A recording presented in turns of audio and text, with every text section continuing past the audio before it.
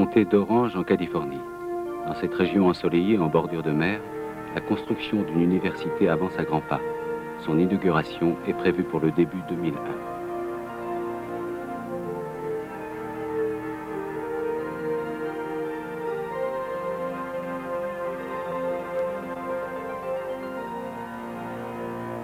Le fondateur de ce futur campus est japonais.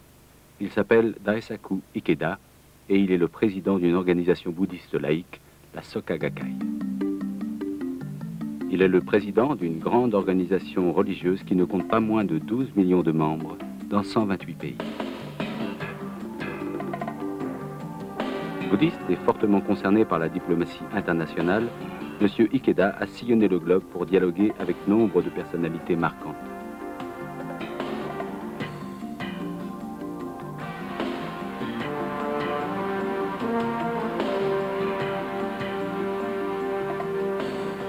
Le président Ikeda a créé de nombreuses institutions au Japon. Le siège de la Soka Gakkai, l'association des concerts Minon, le groupe d'édition Sekyo Press qui publie le quotidien Sekyo Shimbun, le musée Fuji de Tokyo,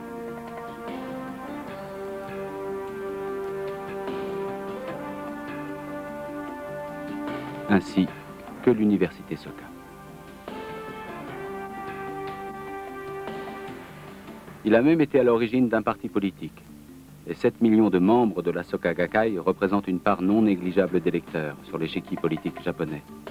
De nos jours, au Komeito, le parti pour un gouvernement intègre joue un rôle clé dans la politique japonaise.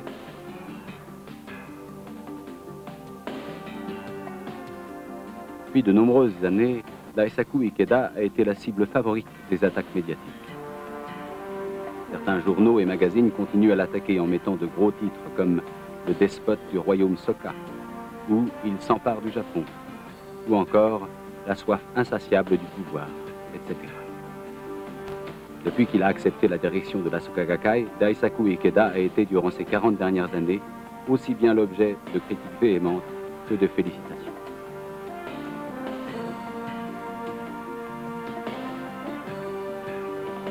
Qui est réellement Daisaku Ikeda Et quelles sont ses vraies motivations? Daisaku Ikeda, l'homme.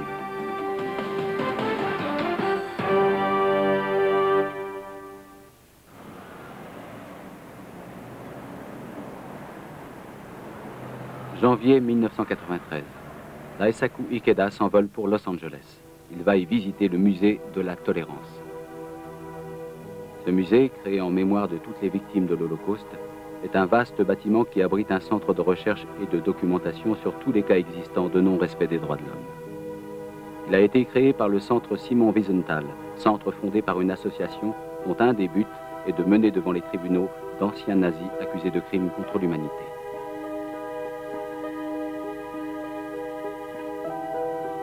Monsieur Ikeda est fortement intéressé par les activités du centre Wiesenthal.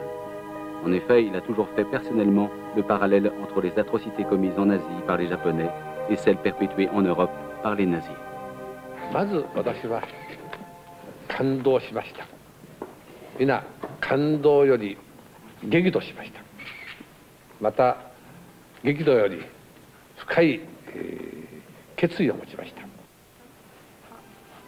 M. Ikeda s'est donc occupé de la coordination avec le centre Wiesenthal pour l'organisation de l'exposition Anne Frank et l'Holocauste, le courage de se souvenir, qui a débuté au Japon en mai 1994.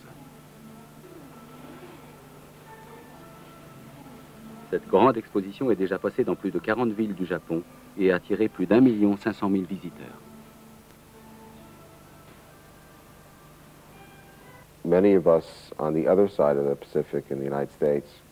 Aux growing USA, nous avions une grande inquiétude concernant um, public l'antisémitisme affiché dans les publications au Japon. Il was extrêmement choquant d'apprendre que dans de grandes librairies à Tokyo, des livres uh, mensongers paradaient et bénéficiaient de publicité. J'ai donc visité le Japon of the 17 major fois et j'ai fait connaissance de nombreux Japonais. Tokyo. This is my 17th visit to Japan, and uh, chance to meet people from the full spectrum uh, À life. travers ces expériences, j'ai compris que le partenaire le plus puissant dans le domaine de la vulgarisation civile était la Soka Gakkai, dirigée par le président Ikeda. Mais au début, nous étions très prudents à son égard, car nous avions entendu dire que c'était un homme dangereux ou un gourou.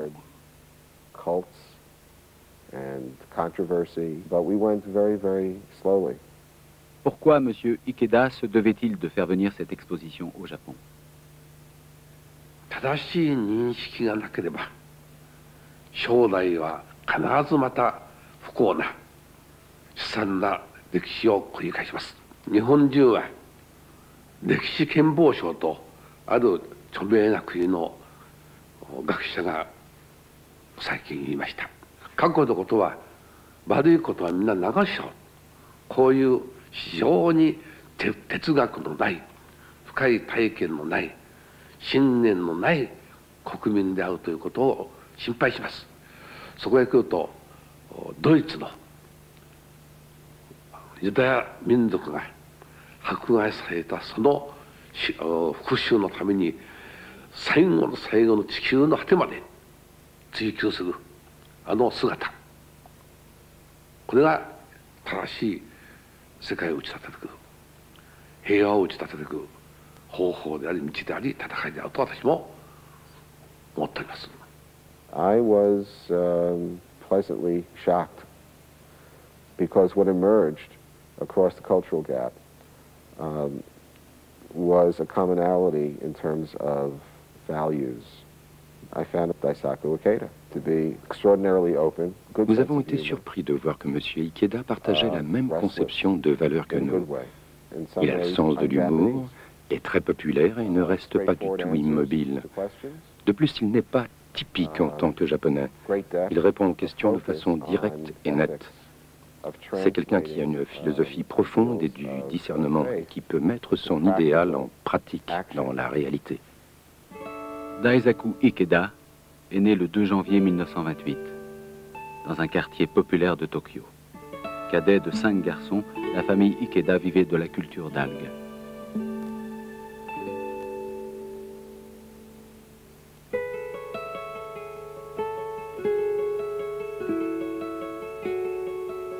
Père, Nenokichi, avait été surnommé par tous ses voisins le vieux dur à cuire.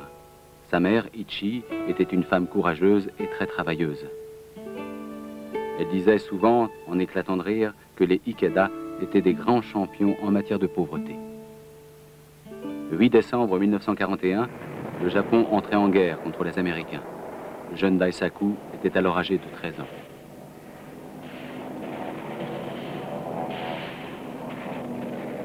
少年時代の深い傷というものは一生涯残るものです。私は5番目の五男五男でありましたけれども長男も兵隊次男も三男も四男も4人全部働く盛りの兄が中国へビルマへ戦争に取られました。がその意味においては強烈に戦争というものの怖さそしてまた不幸さというものを今でも深く感じて忘れることはできません。Ceci est le fragment d'un miroir. Dans un de ses livres, M. Ikeda explique ce qu'il représente pour lui. C'est un morceau du miroir qui faisait partie du trousseau de ma mère quand elle s'est mariée. Un jour, ce miroir s'est brisé et mon frère aîné et moi en avons chacun pris un morceau. Quand mon frère est parti au front, il a emmené son morceau de miroir avec lui. Je mettais toujours le mien dans ma poche, même lorsque nous quittions brusquement la maison pour aller dans un abri, alors que les bombes incendiaires pleuvaient autour de nous. À cette époque, les Japonais étaient convaincus que la guerre dans laquelle ils s'étaient engagés était une guerre sacrée et divine. Les soldats qui tombaient au front étaient enterrés comme des héros, leur mort était glorifiée. Les jeunes garçons nourrissaient naturellement des élans de patriotisme.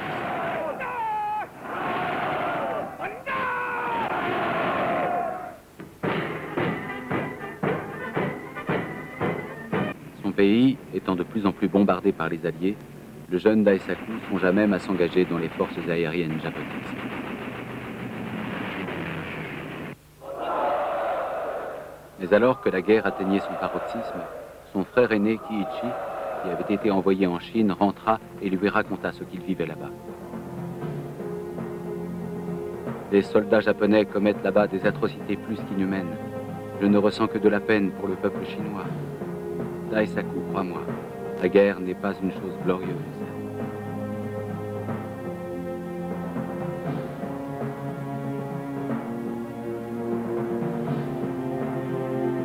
Puis Kiichi dut retourner au front, tout comme les trois autres frères de Daisaku, rappelés l'un après l'autre.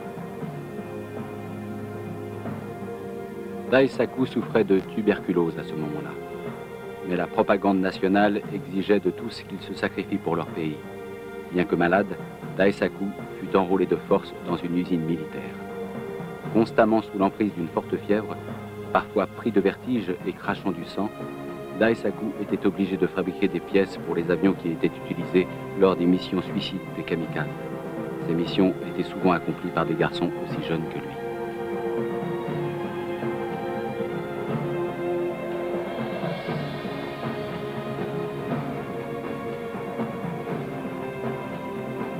Jour après jour, les Alliés intensifièrent leurs frappes aériennes et la maison de la famille Ikeda partit en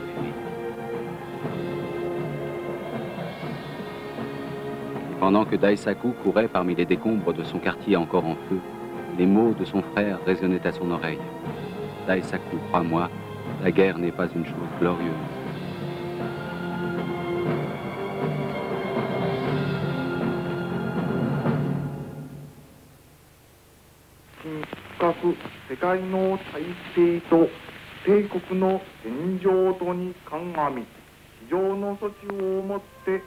Le peuple du Japon entend la voix de son empereur annonçant la capitulation du Japon et la fin de la guerre.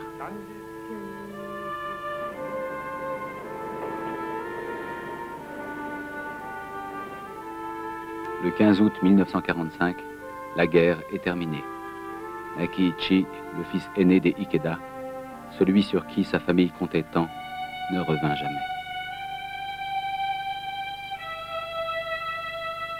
Dans un de ses livres, Daisaku Ikeda raconte La guerre était finie. Et quand nous avons appris que Kiichi avait été tué en Birmanie, je me suis souvenu de ce miroir dont nous avions chacun pris un morceau. J'imaginais alors mon frère sur le front, sortant le sien durant une trêve pour y voir son visage mal rasé, pensant à sa mère et à la maison.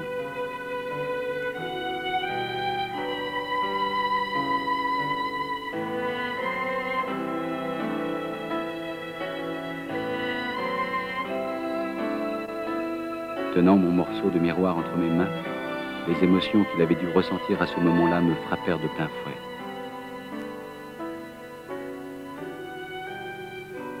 Serrant alors le petit morceau de verre contre ma poitrine, je pleurais ce frère qui ne reviendra jamais. Les cendres de Kiichi furent envoyées à sa mère.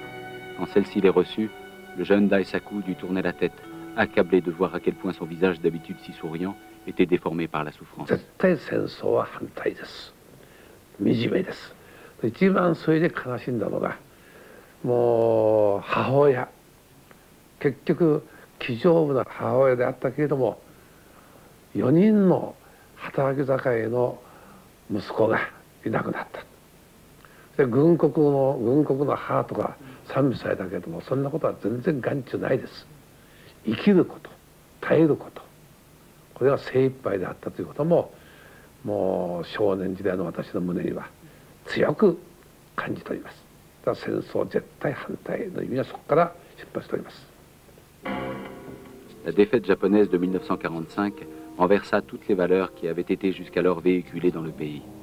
Les livres scolaires qui proclamaient que l'empereur était un dieu vivant et que le Japon était donc un pays divin furent interdits. On commença alors à voir des nuées d'enfants japonais se rassembler autour des militaires américains pour leur demander du chocolat ou des bonbons. Hier, ces mêmes soldats étaient décrits comme des démons odieux et sanguinaires. Dans le chaos qui suivit la guerre, les gens cherchaient quelque chose qui leur permette de remplir ce vide immense qui était apparu dans leur vie. C'était un soir chaud et humide. La vie du jeune Daisaku Ikeda prit alors une nouvelle direction en ce mois d'août 1947. Il venait d'être invité par un ami d'enfance à une réunion qui avait pour thème la philosophie de la vie. La réunion avait lieu dans une petite maison d'un quartier populaire de Tokyo. À l'intérieur, une vingtaine de personnes étaient rassemblées autour d'un homme d'âge mûr qui, fumant des cigarettes et suçant des pastilles à la menthe, parlait d'une voix rauque. Cet homme, c'était Josei Toda, le futur deuxième président de la Soka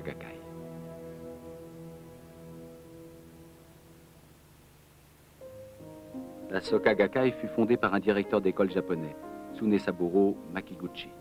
À l'origine, la Soka Gakkai n'était qu'une association d'éducateurs qui désirait participer à une réforme complète et profonde du système éducatif japonais proposé par Makiguchi. Mais plus tard, elle se transforma en une organisation embrassant et faisant sienne les enseignements d'un moine bouddhiste du XIIIe siècle, Nishiren Daishonin. José Itoda, qui enseignait à l'époque dans l'école de Makiguchi, faisait lui aussi partie de cette association.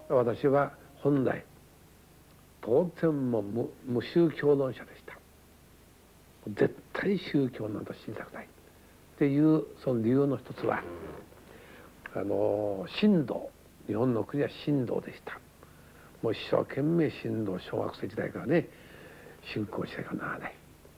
国家神道それで戦争になりました。でそれで裏切られました。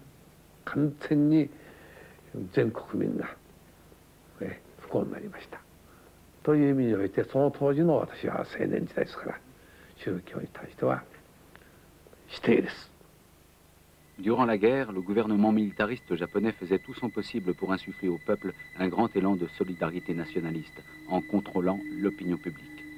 Il avait donc décidé d'imposer le shintoïsme à tous les Japonais. Une série de lois qui restreignaient considérablement les droits des autres courants religieux fut donc votée et ceux qui osaient se dresser contre ces restrictions se voyaient sévèrement réprimés.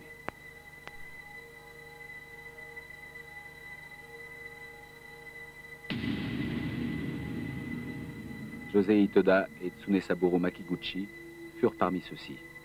Arrêtés en 1943, ils furent mis en prison pour avoir violé la loi pour le maintien de la sécurité nationale et pour manque de respect envers l'État. À cause des mauvais traitements qu'on lui infligea en prison, Makiguchi finit par mourir dans sa cellule à 73 ans. Toda fut relâché le 3 juillet 1945 quelques semaines à peine avant la reddition du Japon. Malade et terriblement amaigri, il prit l'engagement de reconstruire la Sokagakai alors qu'il n'en restait pratiquement plus rien. 青年時代ある 友人から戸田情勢という人がいると。戸田情勢という人は戦争反対して牢獄から出た人だ。こう牢獄から出た人は私は信頼できると。戦争反対のために入った人生であるで連れられてお会いしました。であの外は情勢という方は宗教かと思ったけどもいわゆる坊主ではない僧侶ではない。普通の紳士である。それで裸足も非常に普遍性である。ドグマじゃない。これは何を聞いても私の心を満たしてくれる知識を与えてくれるそういう人だな。こう私は納得したんです。自分なりに。でこの人についていろいろと教えを受けようかこう決めました。En 1949 M. Ikeda travaillait dans la maison d'édition gérée par M. Toda. À cause de la crise économique due à la Seconde Guerre mondiale, les entreprises de M. Toda, base financière de la Sokagakai, se sont retrouvées aux abois. M. Morita, directeur général de la Sokagakai, nous parle de cette époque. Cette maison d'édition a fait faillite et les créanciers débarquaient sans cesse. C'était un véritable chaos. M. Ikeda s'excusait auprès des créanciers. On peut dire que seul M. Ikeda soutenait M. Toda à l'époque. Parce que cette société ne donnait plus de salaire aux employés, ils ont tous démissionné. Mais M. Ikeda est resté néanmoins dans cette entreprise. Si l'on n'est pas prêt à donner sa vie, il est impossible de faire une telle chose.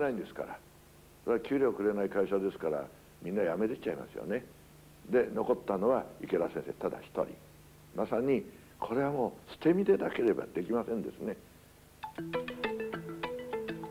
Monsieur Toda était dynamique, franc et affectueux. De plus, il adorait le saké. Ayant un profond sens de l'humour, il expliquait les enseignements très complexes du bouddhisme de façon compréhensible pour tous. Selon lui, une religion authentique a pour but de sauver les pauvres et les malades. Il a donc insisté sur le fait qu'il fallait se forger sa vie par soi-même au lieu d'accepter les difficultés comme une fatalité. Parce qu'il est devenu président de la Sokagakai, elle ne comptait que 3000 adhérents. Grâce à lui, l'organisation a pris un élan fantastique et s'est développée jusqu'à 750 000 familles.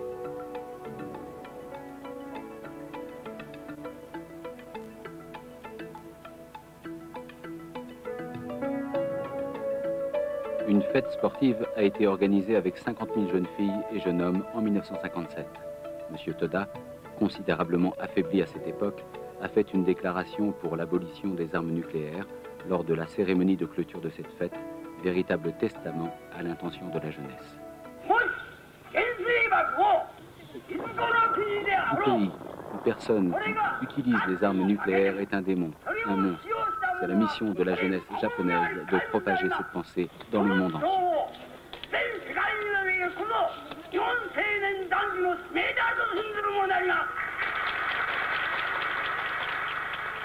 En léguant cette mission à la jeunesse, il s'est éteint à l'âge de 58 ans.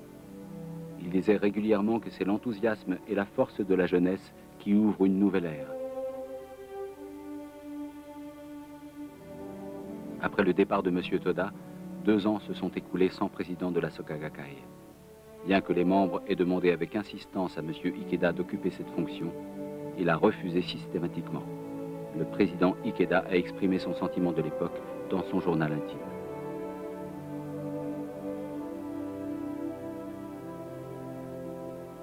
Lundi 11 avril, temps ensoleillé. Réunion de la plus haute importance pour désigner le troisième président de la Sokagakai. Suis-je obligé de prendre une décision? Je souffre terriblement et ressens une tension au-delà des mots.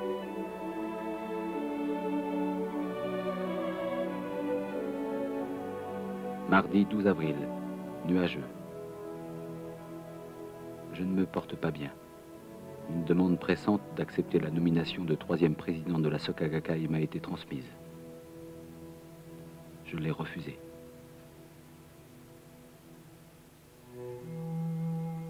Jeudi 14 avril, pluie, puis soleil. Il m'a été impossible de refuser. Cela signifie par conséquent l'acceptation de ma part. En fait, je n'ai pas le choix. En pensant à M. Toda, mon maître, seul, j'ai décidé. 3 mai 1960, le nouveau président que tout le monde attendait avec impatience est nommé. Ce jour-là, 20 000 membres se sont réunis à l'auditorium de l'Université Lyon.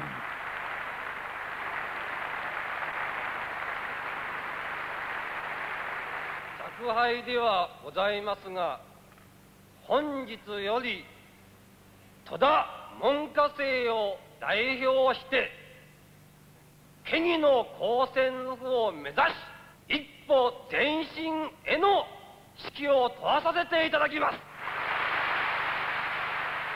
L'âge de 32 ans, Daisaku Ikeda devint le troisième président de la Sokagakai. Lorsque M. Ikeda est rentré chez lui, après la cérémonie de sa nomination à la présidence de la Sokagakai, sa femme a déclaré « Aujourd'hui est jour de deuil pour la famille Ikeda ».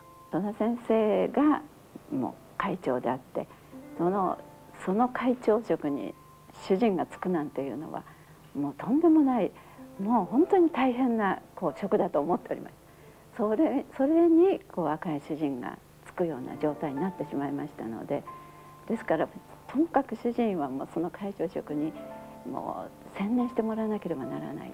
もううちの子供たちのこととかあの家族のことそれはもう全部私がやりますからもうそちらにもう専念してくださいというまあそうでもしなければそのそれだけ大変な会長職があの体も弱いしやっていけないんじゃないかっていう気持ちがございました。体が弱かったですから大体が。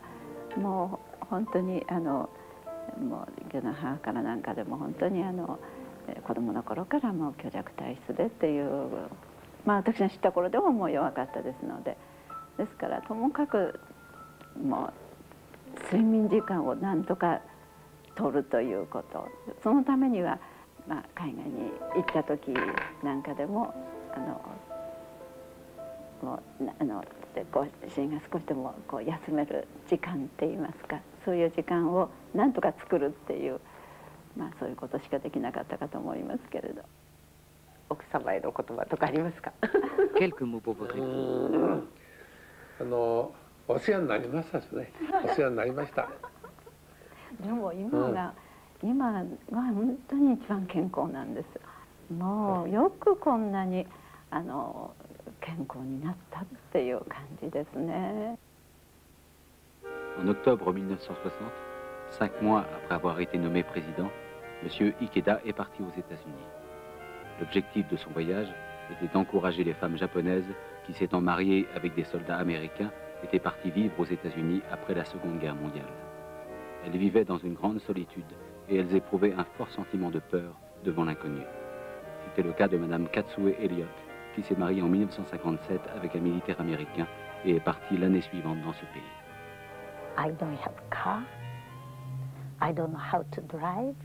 Comme je n'avais pas de voiture, ne parlais pas anglais et n'avais pas d'argent, la vie était très dure.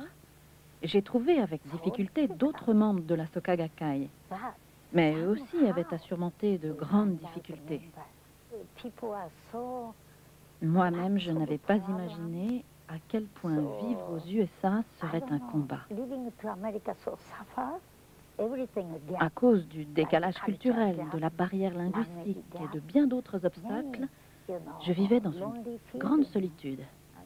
Comme je ne parlais pas anglais, je vivais moi aussi dans une peur constante.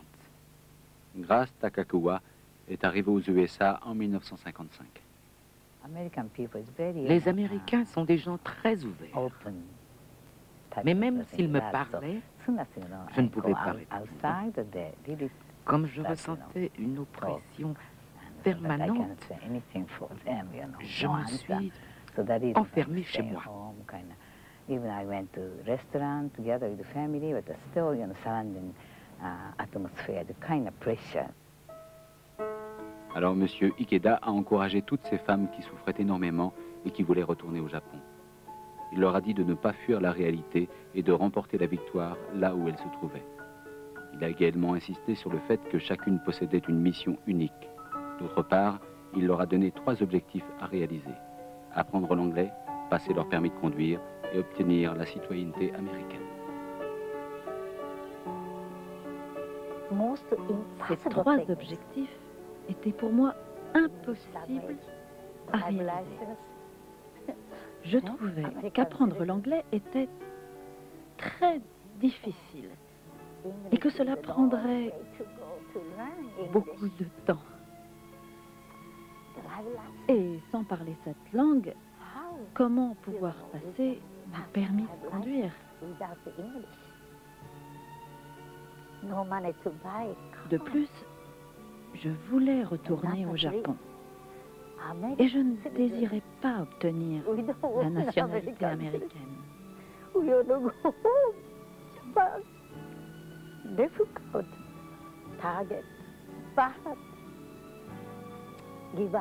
Il m'a donc été difficile de réaliser ces trois objectifs. Mais finalement, parce qu'elles ont fait tous les efforts pour cela, les femmes japonaises ont pu retrouver l'espoir et accepter leur réalité. Maintenant, grâce à ces trois objectifs, nous vivons toutes heureuses et nous nous sommes intégrées à la société américaine.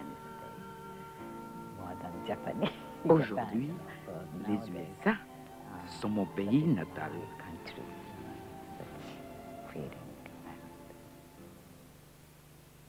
Ed Fiesel a 33 ans et il habite à Los Angeles.